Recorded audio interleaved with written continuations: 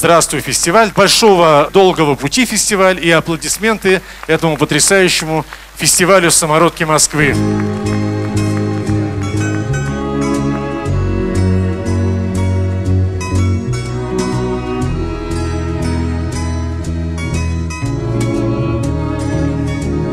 Самая главная задача и цель нашего фестиваля – это выявление и поддержка а, и развитие особенно одаренных детей, подростков, а также детей со сложной жизненной ситуацией. Я желаю конкурсу удачи, потому что этот конкурс сегодня впервые проводится в Москве. Я хочу пожелать фестивалю, чтобы он был значимым, теплым, потому что участники фестиваля – это люди, которых лечит сцена. Мы танцевали танец клоунов. Вот. И почему мы в этих костюмах? Потому что у нас есть швейная мастерская, и у нас девушки шьют эти, шили эти костюмы сами. Мы их не покупали. Мы даем первый раз интервью и очень волнуемся, и очень боимся. Но несмотря на это, вот мы все-таки выступаем здесь. Вот, э, нам нравится добрая атмосфера, которая вот здесь. Наш коллектив «Улыбка» – это ребят с ограниченными возможностями здоровья. Мы приехали из поселка Запрудня. Да, а мы сегодня, между прочим, думали, что не приедем. Мы сломались посреди дороги и стояли, чинили машину. Слава богу, доехали. Вас всех мы благодарим за поддержку и надеемся, что мы своими аплодисментами э, поддержим ребят и дадим им напутствие на дальнейшую творческую жизнь. Спасибо всем фестиваль «Самородки Москвы» смог состояться благодаря нашим партнерам и Московскому музыкальному обществу, обществу и Государственному академическому народному ансамблю имени Зыкиной, э, Управлению социальной защиты населения Юго-Западного округа, э, нашим руководителям э, учреждений культуры, образования, муниципальных учреждений, школ-интернатов.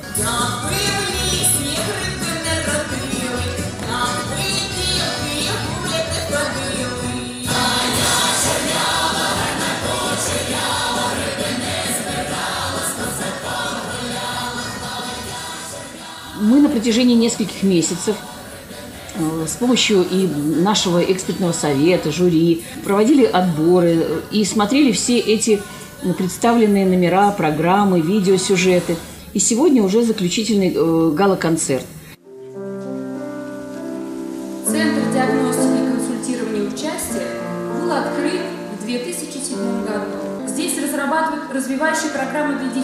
Оказывают социально-психологическую помощь, проводят адаптацию и коррекцию средствами дополнительного образования. Когда малыш увидит мир впервые, узнал о том, очень сложно впустить особого ребенка в музыкальный мир, услышать первый раз звуки, которых он не слышал, то есть впустить его в музыкальную сферу, распеваться с ним, начинать петь песни, танцевать. Музыкальный слух формируется, когда ребенок слышит, как поет обычный ребенок. У него э, формируются слуховые накопления, которые он потом хочет сам произносить, чтобы получилось у него самого. Я хотела бы добавить, что на самом деле это достаточно сложная, ну, это даже не то, что сложно, это очень долгая работа, потому что у нас есть дети, которые к нам ходят не один год, и мы только-только видим то, что действительно у него пошла динамика, пошел какой-то прогресс. Мне кажется, самое важное, что дети, когда приходят, они понимают, что мы не ставим им оценки, мы не говорим, там, у тебя плохо получается, и поэтому там ты плохой, да, Естественно, мы их пытаемся поддержать, и когда они видят то, что преподаватели не будут кричать и ругаться за то, что он там что-то не расслышал, а, то, естественно, ребенку становится проще и легче, да, и он понимает, что он оказался в среде, которая его принимает. И очень здорово, что нас приглашают на такие вот фестивали, конкурсы, где дети эмоционально поднимаются, и потом нам хватает еще много времени э, на вот этом эмоциональном подъеме работать, когда они видят, что они э, наравне с обычными детьми выступают на такой же большой красивой сцене. И я приглашаю на сцену волшебный цветок.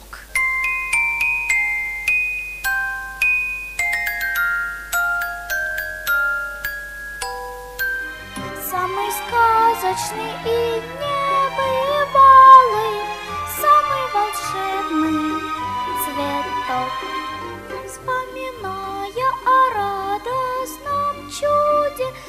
шагая по звонкой росе, То цветок ищут многие люди, Но, конечно, находят не все. Самый сказочный и небывалый,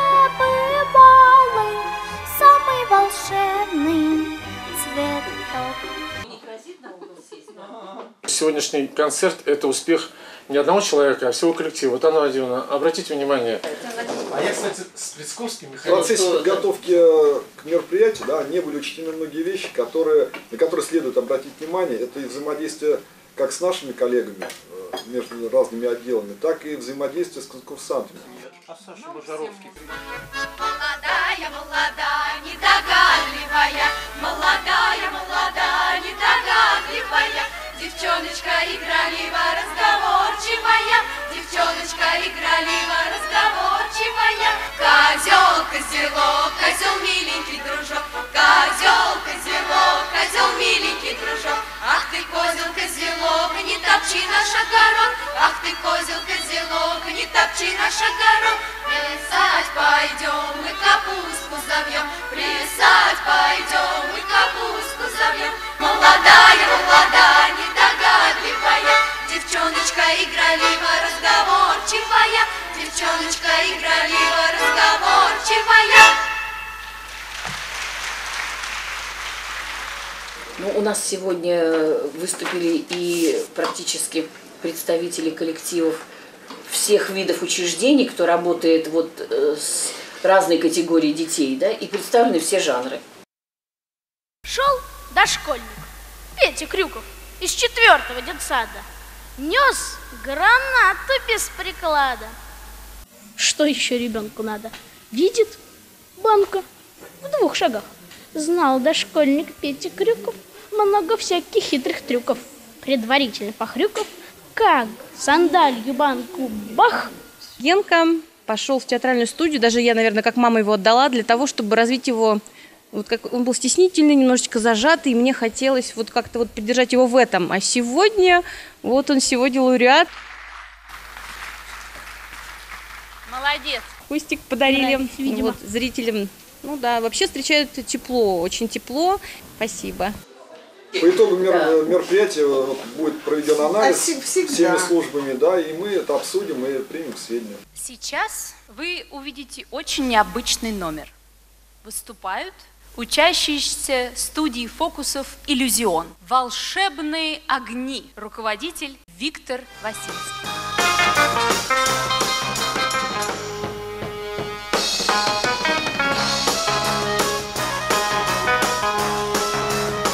Самое интересное, что все они хотели в первую очередь узнать секреты. Как же так получается, что ты берешь из воздуха какой-то огонечек и вдруг его к себе куда-то там прячешь? Что это такое? Они меня спрашивают. Я им стал объяснять, что секрет в фокусе это совсем не главное. Главное ведь это то настроение, с которым ты это делаешь, то вдохновение, которое тебя заражает этим, ощущение чуда. Со временем я понял, что особенно нуждаются в чуде дети с ограниченными возможностями, дети, которые из неполных семей, лишены дополнительного какого-то внимания. Я понял, что эти дети а, меняют свое восприятие мира даже. То есть за а, то время, что мы с ними занимаемся, они стали более открытыми, они смогли тереть и более спокойно общаться со своими сверстниками. Им есть чем их удивить, потому что если у них даже есть какие-то трудности, они э, с помощью фокусов находят новую какую-то отдушину в своей жизни. Они могут показать то, чего не, могут, не может сделать даже э, мальчик или девочка, у которых есть все, казалось бы, да? И вот благодаря такому подходу они по-новому стали чувствовать себя в этой жизни и продолжают этим заниматься, развивая и координацию э, движений, и пластику, и мышление, и речь. Они благодаря искусству удивлять, удивляют в первую очередь всех своих друзей, близких, родителей и, конечно же, самих себя. То есть тем самым они э, делают этот мир чудесней и прекрасней. И мне нет замечаний, честно. Ну, Мне мы очень понравилось. И в конце, когда Олег Петрович всех на поклон посылал, Пожалуйста, по- на поклон, пожалуйста, поближе. Идите, поклонитесь. Вы же артисты.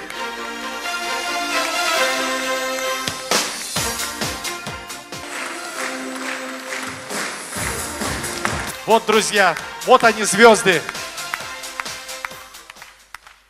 Театр начинается с вешалки, а артист начинается с поклона, потому что поклон это не просто так. Поклон это от сердца благодарность, поверьте. Это очень сильно. У меня стояли слезы. Награждается на- в номинации «Хореография. Современный танец» за оригинальность и артистичность номера. Образцовый хореографический ансамбль «Вариация».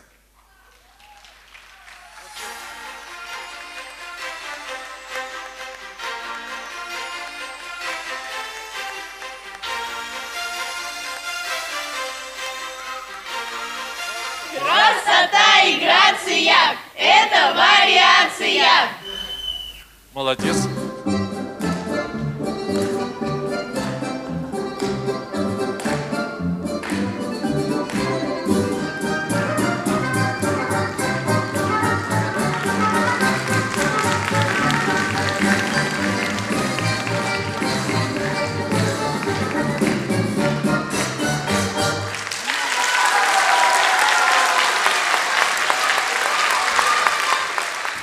Рады, что здесь не только мы развлекаем, но и просвещаем, даем какие-то элементы образования. У нас могут приходить семьями, у нас могут приходить и э, мамы в утреннее время с детьми. Есть ряд э, интересных направлений для э, людей 50+. Наши следующие участники гала-концерта – театр танца «Вариация» культурного центра вдохновения.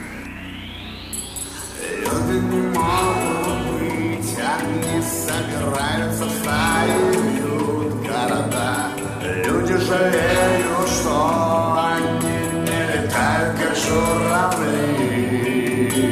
Ищут они плачут земли, где надеются переждать холода. Зорима, нету такой земли. Внимание на экран. Культурный центр вдохновения был создан в 2008 году по решению правительства Москвы как культурно-досуговый центр всего юго-западного административного округа столицы.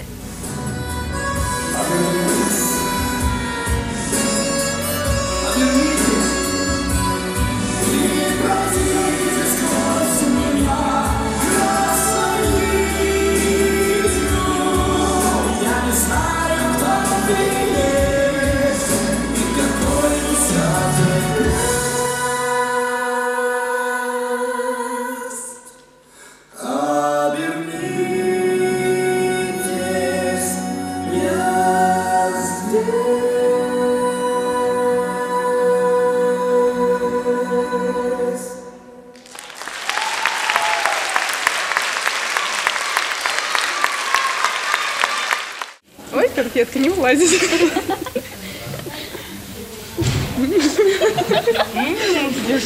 Катюша, а расскажи, а что такое вдохновение?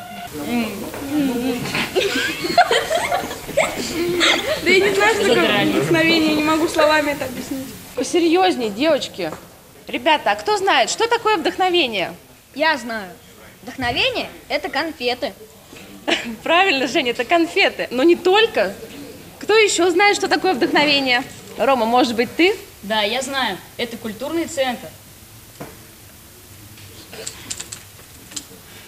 Да, это конфеты, да, это культурный центр.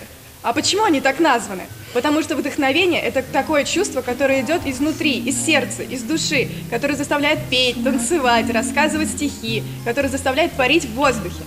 Я заслужила конфету.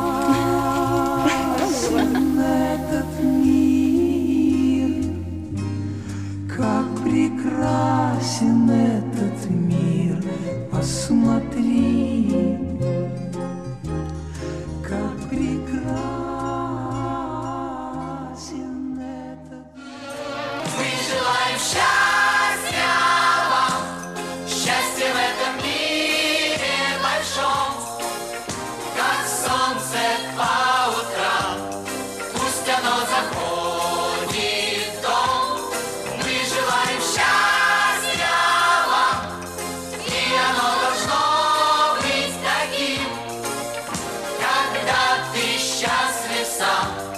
счастье победит.